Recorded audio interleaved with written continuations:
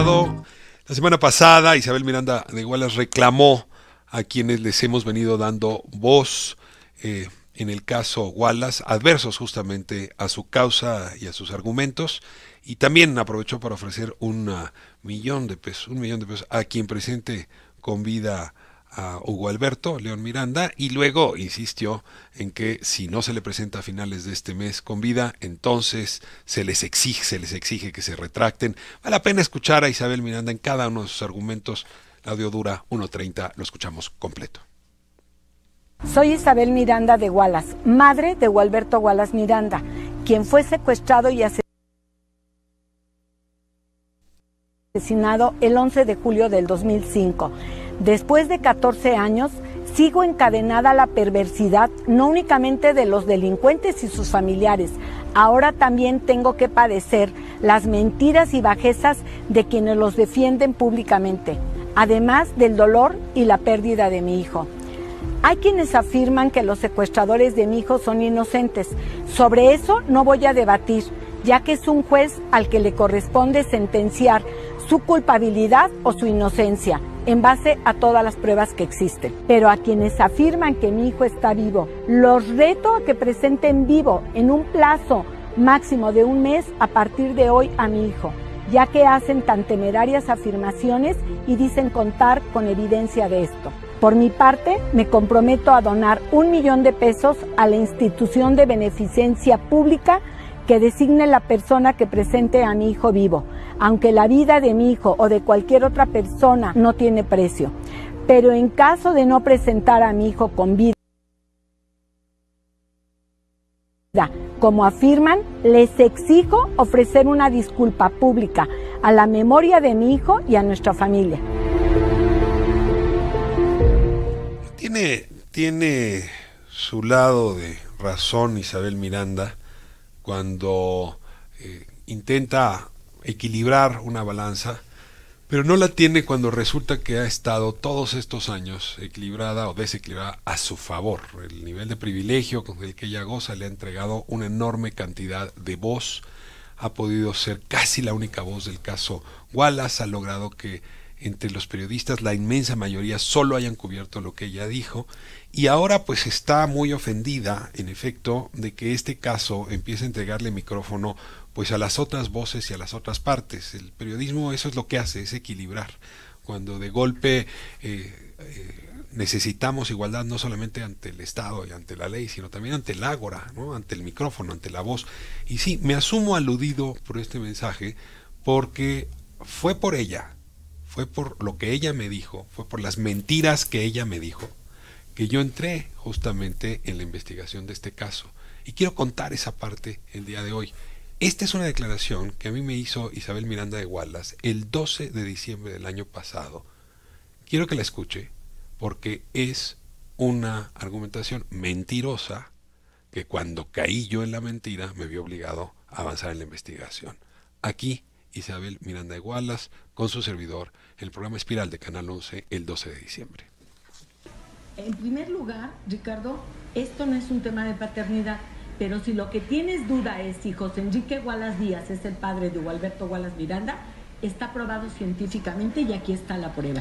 La prueba es el ADN que como tú sabes tiene 99.9% de certeza cuando hacen la confronta, la confronta de mi hijo Alberto Wallace Miranda con José Enrique Wallace dio el 99.9% y aquí la tengo.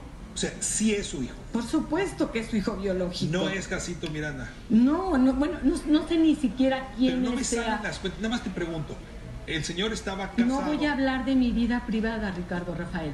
El, yo vine a aclarar esta parte. Es que ese es el argumento que están dando. Bueno, ella me dice, y yo debía creerle, que en efecto José Enrique de Socorro Wallace era el padre biológico de Gualberto Wallace. Entonces lo llamaba yo Gualberto eh, Wallace Miranda. Sin embargo, a raíz justamente de esta mentira, el doctor Carlos León Miranda contactó con varios periodistas, Guadalupe Lizárraga por un lado y conmigo por el otro, hay que decirlo en distintos momentos y con distintas fuentes, para decirnos que él era el verdadero padre biológico de Hugo Alberto. ¿Qué puede hacer un periodista cuando le mienten así en su cara? Y no solamente al periodista, sino cuando le mienten así a la audiencia, pues no queda otra más que investigar. Yo recibí elementos de prueba que me enviaron a el poblado de Tejupilco de Hidalgo, allá en el Estado de México, al sur de Valle Bravo.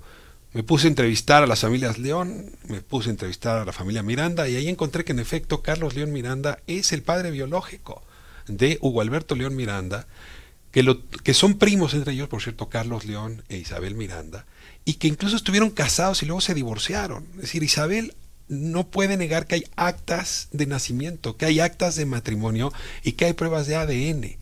¿Por qué me mintió al aire de esa manera? Ella sembró esa duda y en ese momento mi investigación, hay otras investigaciones andando, comenzó a correr y me vi obligado en efecto a escuchar, a entrevistar a los padres, a los familiares de los presuntos secuestradores. Tuve ya aquí Enriqueta Cruz hace un par de semanas, madre de Brenda Quevedo Cruz, dando su testimonio. El día de hoy me honra, así lo tengo que decir, la presencia de Elena Cruz y de Luis Carrillo. Elena, me da muchísimo gusto que nos acompañe. Gracias a usted. Muchas gracias. Gracias. Pues ustedes son madre y tíos de eh, Albert y Tony Castillo. Gracias. Eh, Ambos eh, han sido ya sentenciados en primera instancia como, como secuestradores de Gualberto León Miranda y yo quisiera eh, que me cuenten despacio la historia. Eh, si quieren comenzamos con el primer momento que ustedes se enteraron del supuesto secuestro y cuando, si pueden continuar, cuando detienen a, a Tony, perdón, a Albert en la Avenida Reforma y luego también que me cuenten cuando Tony Castillo se, se, entregó. Si quieren despacio, este es el tiempo para que ustedes puedan usar el micrófono. Creo que es la primera vez que están en un programa de radio con esta audiencia, ¿verdad? Sí, así es. Muy bien, pues adelante, ¿quién quiera comenzar? Desde nada, gracias. Muchas gracias por brindarnos la oportunidad de estar aquí y que el mundo entero se entere de todas las mentiras de doña Isabel Miranda Torres ella fabricó todo y eso desde el principio nosotros lo sabemos, porque confiamos ciegamente en nuestros hijos, en lo que nosotros procreamos, la educación que ellos recibieron, entonces nosotros sabemos qué pueden y qué no pueden hacer. Entonces, desde el principio nosotros nunca dudamos de nuestros muchachos, nunca. Siempre hemos estado junto a ellos, hombro con hombro, padeciendo todas las injusticias del gobierno, de los gobiernos podría yo decir, porque esto empezó desde antes de Calderón. Lógico, se lo dejó encargado a Peña Nieto y bueno, han sido unos años tremendos. Nos quedamos sin familia. Tengo cinco o seis hermanos, ya no sé ni cuántos, jamás me volvieron a llamar para decirme cómo estás ¿Qué tienes? ¿Qué pasa? Jamás. Hasta la fecha no sé de ellos. Bendito sea Dios, porque me dejó con la persona que tenía yo que estar, con Luis, que me ha apoyado, ha dejado el alma en todo esto, porque está seguro de que mis hijos son inocentes. Para nosotros ha sido un martirio, un calvario. No tengo palabras cómo expresar tanto dolor tanta amargura que los actos fabricados de las doña Isabel Miranda Torres sembró en nosotros. Aquel pánico, aquel dolor que sabíamos que en cualquier momento ella podía lastimar a nuestros muchachos. Elena, usted acompañó a Tony a entregarse. Así es. A ver, cuénteme la historia de, de Tony ¿Por qué de Tony decide entregarse y acudir a la Procuraduría? Bueno, Tony se había ido a vivir con la novia, entonces ni nosotros sabíamos todavía dónde estaban viviendo, según porque después nos iban a invitar. Y cuando habla Albert y, le, y me dice, mami, me detuvieron, le digo, permíteme, yo te comunico con Luis, ¿no? ¿Quién mejor que él? Y ya habló. Luis aquí con nosotros, que además es abogado. Sí, es abogado, bendito sea Dios. Entonces, ya Albert le explicó por qué lo habían detenido, que porque era de la banda de César Freire, que habían secuestrado a este señor Hugo Alberto. Ya no sé si Igualazo, ya no sé ni qué apellido, porque es una de que salen documentos nuevos. Entonces, ya mi primo le dijo, permíteme, yo voy para allá. Y fue para allá a verlo, a Albert. Y entonces Albert le dijo que... Le voy, la voy a detener aquí. Sí. Usted ve a Albert en la PGR, Sí, en Plaza de la República. así es, en la sierra. A ver, ¿cómo detuvieron a Albert? A Albert lo detuvieron, lo detuvo Isabel Miranda, eh, saliendo de su trabajo. Albert trabajaba en una empresa americana en la calle de Reforma y Milán. eh, y saliendo de su trabajo fue detenido por Isabel Miranda y 10 personas más. El hermano de Isabel Miranda y ella. Detienen a Albert con pistola en mano, encapuchados estos cuates, lo, lo, este, lo detienen, lo golpean, lo suben a un carro, lo golpean y le dicen, más eh, hubiese valido meterte con el hijo del presidente. Y lo suben a un, a un carro. No, había policía, no había. no había AFIS. absolutamente nada, nada, nada. sea, eran particulares Eran sí, encapuchados. era gente de Isabel Miranda. Lo suben, lo golpean, se lo llevan, lo torturan durante más de tres horas. Después de tres horas lo entregan a la, antigua AFI, eh, donde nuevamente lo vuelven a golpear y a torturar, a efectos de que confesara su participación en el secuestro y dijera dónde estaba eh, Hugo Alberto Wallace. Esto fue el 7 de marzo del 2006.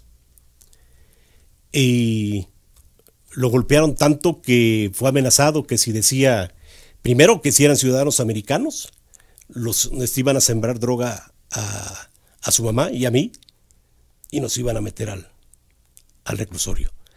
Eh, Perdón que lo interrumpa aquí. Es que Albert y Tony nacieron en Estados Unidos. así es. O sea, tienen Son ciudadanos Y los americanos. americanos que si decían que eran ciudadanos americanos, entonces a ustedes les iban a sembrar Así droga es. y los iban a arraigar, como arraigaron a la mamá y a la hermana de César Freire. Así O sea, es. era creíble la Sí. amenaza. Perdóname, Luis, sigue. Sí, sí, la cumplían, ¿no? Eso nos fuimos dando cuenta con el paso del tiempo. Eh, posteriormente, eh, después de que lo torturaron, yo pude ir a, a ver a Albert, pedí permiso en mi trabajo, eh, me dieron la oportunidad de ir y llegué y me identifiqué, hablé con el, eh, el Ministerio Público eh, que llevaba el asunto, me permitió el acceso y vi a, a Albert, lo toqué, cuando lo toco se dobla, se quejó mucho. Y le dije, ¿te golpearon, te torturaron? Dice, sí. Pero no digo nada, dice, porque si lo digo, ustedes son los que van a pagar. Tony, estaba viviendo con la novia. Ajá. Usted Entonces, la entera que detuvió, lo Sí. entera de que detuvieron a Albert. ¿Y no, qué decide Tony? Lo que pasa es que salió el espectacular buscando a Tony. Entonces ¿Qué yo decía el espectacular? que ofrecía 50 mil pesos por, por que le entregara a Tony, Pero a ver, que era un, un secuestrador y asesino. dice Isabel, acabamos de escuchar que ella no va a debatir si son inocentes o culpables, que eso le toca a un juez. Es- Estoy de acuerdo con ella. Pero 14 años antes, o 13 años antes, ella puso unos espectaculares donde los acusaba de secuestradores y asesinos. O sea, ella ya los había juzgado cuando no había ni siquiera Así- así eh, averiguación previa terminada. Los había juzgado y sentenciado. Y por favor, Y entonces Tony que decía que hay un error. Tony, ah, Tony nos Luis le dijo, tú espérate que solucion- solucionemos lo de Albert y entonces te presentamos a ti, porque pensábamos que, que era rutinario todo eso, ¿no? Nunca nos imaginamos con ese monstruo de mil cabezas al cual nos estábamos enfrentando, Se presentan a dónde? A la, ahí a donde estaba la siedo. Ahí se presentan. Sí, eh, ahí Usted y yo- Tony. Sí. Y ahí eh, agarran a Tony. No, porque no, ahí no lo detuvieron porque eran días de Semana Santa. Como la hacía dos cierra Semana Santa. Pues yo creo que sí. No había MP, no había nada, que regresáramos después.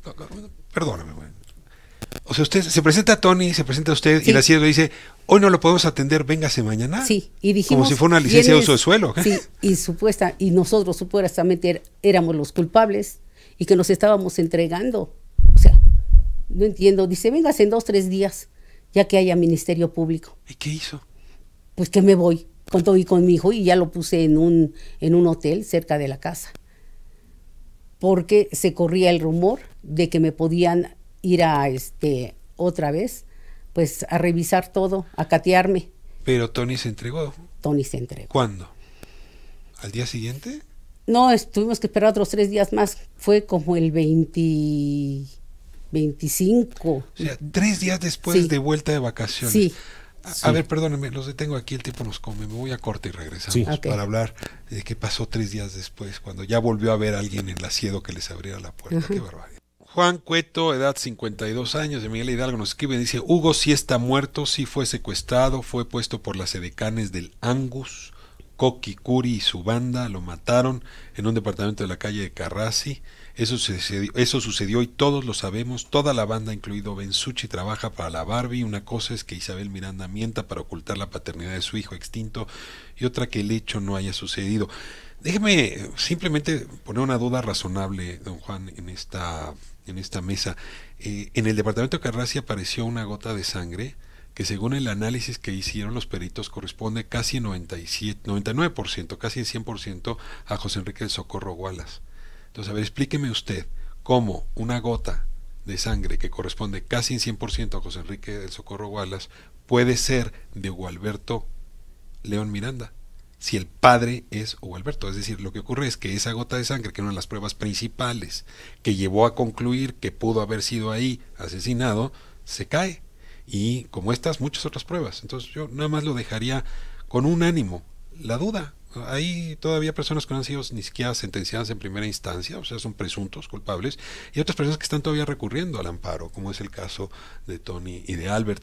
Es que la justicia está haciendo, como dice Isabel Miranda, su papel, y aquí lo que hacemos en los medios simplemente es que todas las voces se escuchen. Ya escuchamos la de Isabel, desde luego estamos escuchando la de usted, y nos quedamos hace un momento, voy de nuevo, eh, Luis, justamente con este momento, eh, Elena, en que se entrega Tony eh, tres días después porque no había quien lo atendiera en la Siedo. Qué barbaridad. Sí. Sí, Nos así fue. dijeron, lléveselo y regrese dentro de tres, cuatro días ya que haya un MP aquí para recibir. Y ahí va y regresa Tony. Sí. No, pues muy culpable de haber sido para regresar dos veces. Es- Aquí estoy. Sí, sí, sí, se, se presentó, eh, lo presentó eh, mi prima, fue, co- eh, fue ella y el abogado, llegaron allá a la, a la buscaron al licenciado este Braulio Robles Zúñiga, el que llevaba el, caso, eh, y cuando llegamos decían que no se encontraba, que no se encontraba el Ministerio Público Braulio Robles Zúñiga, por consiguiente que estaba de vacaciones, porque se cruzó Semana Santa, y que regresaran para la siguiente semana para, para ver si los podía atender. Y entonces, dice mi prima, pues nos fuimos. Se fueron, se quedaron en un hotel, eh, Tony, y posteriormente regresa, a la siguiente semana regresaron y ya eh, fue cuando lo recibió. ¿Y qué pasó? Ingresaron a Tony, Tony dijo yo no tengo nada que ver. Dice, yo no hice nada, aquí estoy. Dígame qué delincuente ante un delito de la gravedad como es el secuestro, se presenta y diga, señores, me andan buscando, hasta ahí espectaculares, dicen que yo soy un secuestrador, aquí estoy. Denme los ¿Quién lo 50 hace? mil pesos, yo me acabo de entregar a mí mismo. Casi, casi, ¿no? Deme los 50 mil pesos, me los acabo de ganar. ¿Y qué hizo Braulio Robles Zúñiga? Que es un personaje principal. Ah, ¿no? claro. Él es el MP, sí, sí. digamos, del caso. Sí, él fue el que se encargó de torturar. ¿Qué hizo? Eh, nada, pues le tomaron la declaración a, a- a Tony, pero ya iba con, con un amigo, abogado, y fue el que lo, lo este, representó ahí para, la, para que sea tomada su declaración preparatoria y posteriormente lo arraigaron. Ya, de ahí lo arraigaron. Inmediatamente. Punto. Por delincuencia organizada. Así es. Y de ahí no volvió a ver la libertad. No, hasta ahorita 14 años han pasado. ¿Cómo ha sido la vida de los de ambos en los ah, en las prisiones donde han estado? Entiendo que a la fecha ninguno de los dos se declaró nunca culpable. Nunca. Intentaron obtener, ah, eh, digamos, un testimonio. Sí. Sí. A ver, cuéntenme. La señora doña Isabel Miranda trató de que mis hijos se culparan. Y le decía a Albert, tú di que, que eres culpable y te voy a hacer la vida menos pesada. Dice, usted, señora, si me ha acabado con esto. Dice, usted sabe que no sucedió nada. Y la propia señora Isabel Miranda le dijo, sí, ya sé que ustedes no hicieron nada, pero ya están aquí. Y con groserías le dijo. ¿Ya qué le dijo? Y le dijo, yo sé que ustedes no hicieron nada, pero ya están aquí. Y aquí se chingan. A ellos se les acusa de haber sido responsables de, eh, del amago de Hugo Alberto en el supuesto departamento este Perugino 6, eh, amago que le habría provocado un paro cardíaco. Y sobre todo ellos dos están acusados de haber, lo digo como está en el expediente, utilizado una motosierra para cortar en pedazos el cuerpo de, de. Incluso uno de ellos es señalado de ser doctor. Todo el tipo del expediente aparece como doctor. ¿Alguno de los dos es doctor? No es cierto. ¿A, a qué se dedicaban los dos? Eh, de- Tony, eh, eh, Tony tenía un negocio de celulares, de reparación y todo eso. Él estudió eh, Electrónica. Y Albert trabajaba en una empresa americana porque se dedicó a la computación. Él era este, Ingeniero en estudió en- sistemas. en- en, sistemas. Y nunca, nada, no sé, Isabel Miranda ¿Dónde inventó sacaron? todo eso, lo de lo del doctor, que él era doctor. La noche del 11 al 12 de julio de 2005. ¿Dónde estaba Tony? ¿Dónde estaba Albert? Eh, ese día, eh, el día 11, para ser exactos, eh, era cumpleaños de la novia de, de la hermana de la novia de Tony. Y Tony estuvo esa, esa tarde noche ahí con ellos, ¿En dónde vivía la novia? por, por Chimalhuacán, Allá por tenía- aquel lado, por Zaragoza, de aquel lado. Y otras personas lo vieron. Sí, Estuvieron en la fiesta con Sí, él. las Es hermanas decir, y todos él tiene, ahí. Él tiene coartada. O sea, la noche que habría Sí. ocurrido el secuestro y la Claro. muerte, él estaba en una fiesta. así es. ¿Y Albert dónde estaba? Albert estaba con nosotros en la casa. Ustedes dos Sí. son testigos de que estaba Así es, y otros vecinos, porque, gente. porque se le hacían mejoras a la unidad habitacional donde estábamos, eh, y entonces eh, ellos participaron en el comité para estar recibiendo y, y- y, eh, los cheques que se daban a los prestadores del servicio, eh, y entonces Albert no se podía ausentar porque tenía que estar ahí pendiente de... ¿Y, y a ustedes les llamaron como testigos para que dijeran esto? Porque yo he revisado el expediente y no veo las declaraciones de ambos. Bueno, la suya no la encuentro. No. ¿La llamaron como testigo para decirle, para preguntarle dónde estaba Albert esa noche? Nunca. No. No, sí fuimos testigos. Usted sí, pero Sí. Elena no está. Sí, también. O sea, ¿ustedes sí le vecinos. dijeron al juez Sí. sí, que había estado con ustedes? Así es, y hasta unos vecinos nuestros se, se ofrecieron, dice, Sí. oye, nosotros podemos ir como testigos. La señora divina, Rosa Montero. Albert conocía a César Freire, que ahora está señalado como el jefe de la banda. Sí, lo Albert. conoció, pero por mí. ¿Usted conocía a César Yo Freire? conocí a César Freire. ¿Por qué conocía a César Yo Freire? conocí a César Freire porque Ricardo Trevedán, yo conocí a Ricardo Trevedán. Él era compañero eh, mío, mío en, la, en la universidad. Y, y él un día me presentó a, A a César César, Freire. ¿Pero Albert era amigo de César? ¿Frecuentaba a César? No, Nada. no. En cambio, Tony sí tenía una relación más estrecha con César Freire. Sí, ¿Era su chofer ¿de quién? de César Freire? Desconozco si era su chofer. Eso sí, desconozco si era su chofer. Pero sí, eh, luego yo me encontraba a Ricardo Trevedán y iba con César Freire. ¿Es pero- esa amistad, digamos, esa relación la que les vincula en este proceso? Y una fotografía, la fotografía de Chalma. ¿Qué hacen Tony y Albert en esa fotografía de Chalma donde también está Brenda, Jacobo, César Freire y Juana Hilda? Digo, esa fotografía es la que permite armar la historia de que había una banda. La banda de secuestradores que iba a Sí. Chalma. ¿no? Sí, sí. Yo he hecho la broma que el único que no está en la cárcel de esa fotografía, que no pisó la cárcel de esa fotografía, es el niño que Así aparece es. ahí. Pero a ver, ¿qué hacen en esa fotografía? Fueron a dar gracias porque el Yael Malagón fue a dar gracias que había salido con vida De un accidente. de un accidente. Y ahí a estaban. eso fueron. Tony me dijo que... ¿Y había posibilidades de que hicieran cosas juntos o nada más un viaje de no, amigos? un viaje de Eh, amigos. haga de cuenta que nada de más este, amigos. este eh, no sé si a César Freire o a Ricardo- o a este o a alguien no tenía carro para irse. Y le dice Tony a, a- a mi prima, le dice, oye, pre- que me prestas, me prestas la camioneta para ir con ellos. Y le dice, no. Y entonces Tony convence a Albert y le dice, vamos hermano, si vas conmigo, nos prestan la camioneta. O sea, Albert era más Ajá. serio. No, los No, dos, los dos. los dos. Pero, y entonces dice, vamos, y se fueron. Pero nunca. Si usted Si no hubieran estado en esa fotografía, No, hoy no no, estarían en la cárcel. Pues si no. usted observa esa fotografía, Albert está de lado. Sí. Albert le hace así. Se mira de lado, de reojo. Sí, porque Albert no iba a salir en la foto. Dice, no, yo no, yo casi no la llevo con, con, Con ellos. estas gentes. Exacto. Dice, dice, este, le dijeron, "Eh, acércate, Albert, para que salgas en la foto. Entonces Albert se hace así. Si Albert no sale en esa fotografía, Hoy al no único que involucran es a Tony. Pasa el tiempo, eh, regreso a la, a la historia, están en, en- en la cárcel y Isabel ofrece una recompensa como la que está ofreciendo ahora, de 750 mil pesos a quien obtenga información sobre dónde está su hijo. Y entiendo que esa recompensa puesta en la cárcel, pues Ah, hace claro. que los compañeros de celda, los compañeros de prisión, Sí. eh, se hayan ensañado con ambos. ¿Pueden contarme este episodio, por favor? Sí, sí, sí. Resulta que un día estábamos en la visita, un día sábado, en el reclusorio norte, y de repente empezaron a repartir volantes.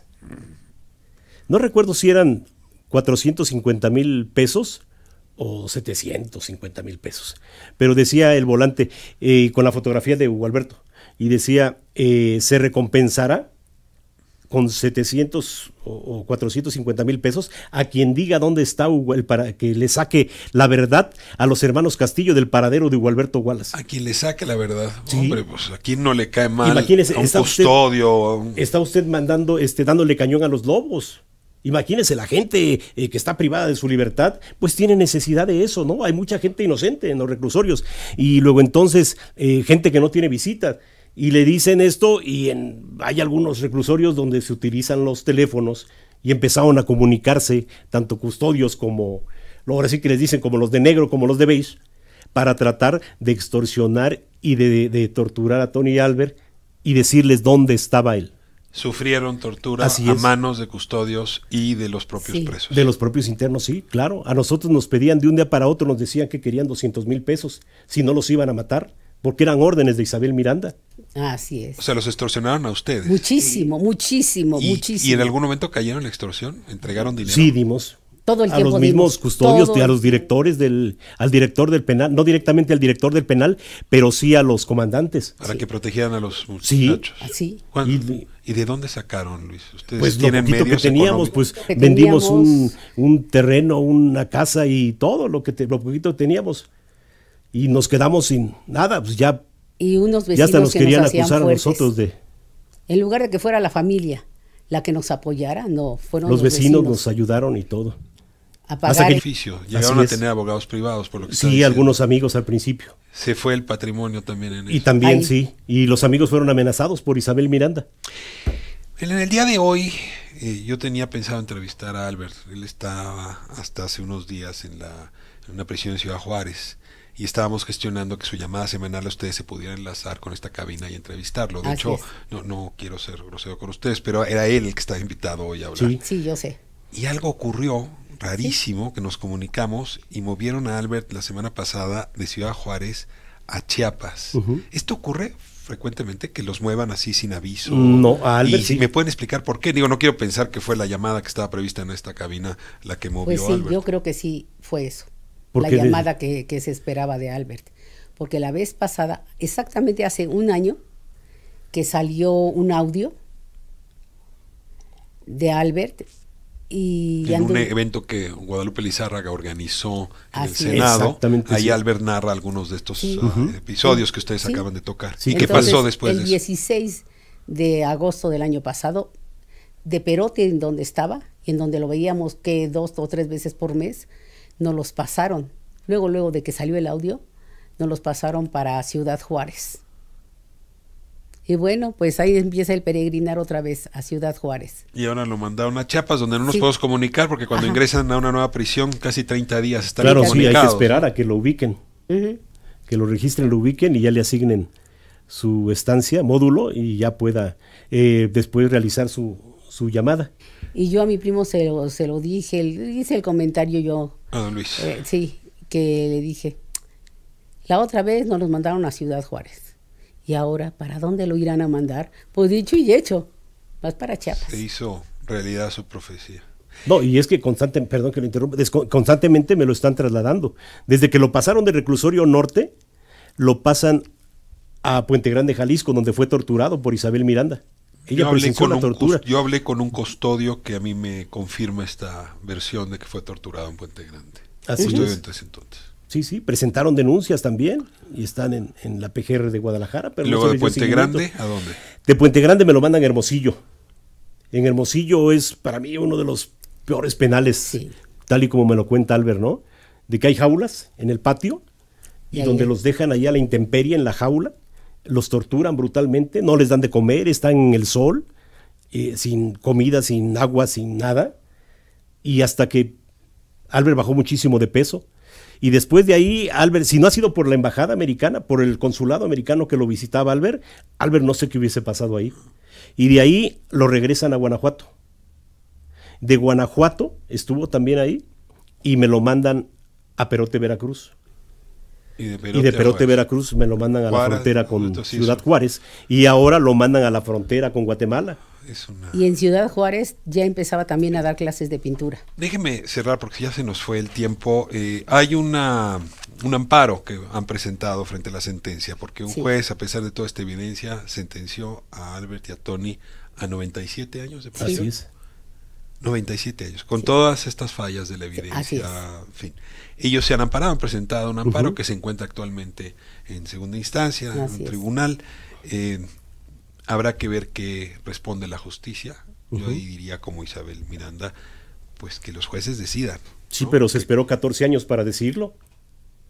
Si ella dice que todo obra en expedientes, deja actuar a los jueces, magistrados, No ofrezcas un millón Y no ofrezcas un millón de pesos. 750 mil pesos, 50 mil. y se los das para una beneficencia pública, ¿por qué no se los das, se lo ofreces a, a- a la... Ahora ella decía, y ahora me toca a mí un poco responderle, que ofrece un millón para quien presente a Gualberto vivo. La verdad es que no es tarea de periodistas ni Pues claro. ustedes presentarlo vivo. Es decir, ojalá y si está vivo, él mismo se presente o si alguien más lo tiene presente.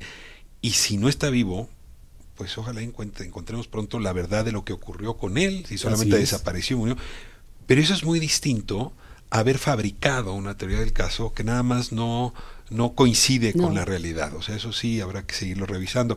Donde sí me gustaría tomarle la palabra a Isabel Miranda es que si un día aparece el hijo y ella pone el millón de pesos, habría que invertirlo en una nueva organización dedicada a luchar contra la fabricación de culpables. Claro. Sí. En principio, la fabricación donde ella ha participado, o habría participado para usar el presuntamente. ¿Saben cuánto les agradezco la posibilidad? Y si un día Albert me puede contestar desde la prisión donde está en Chiapas o donde vaya a estar, se los voy a agradecer mucho porque valdría la pena que de viva voz él pudiera contar la circunstancia que ha estado viviendo. Y aquí en 97.7, el Grupo Radio Centro, en un afán, insisto, de equilibrar las voces, hemos invitado a Isabel Miranda para que venga. Julio Hernández lo hizo hace un par de semanas y ella simplemente no respondió, se negó. Yo la he invitado también a venir, no ha querido venir. Ella tendrá sus motivos, pero si no, aquí también tiene voz, ¿eh? aquí Ah, también claro puede exponer sí. sus argumentos. a lo mejor un día sí. con ustedes. Se conocen ya tanto, de tanto tiempo. Fíjese. Muchísimas gracias, Luis. No, al contrario, Elena. muchísimas gracias a usted.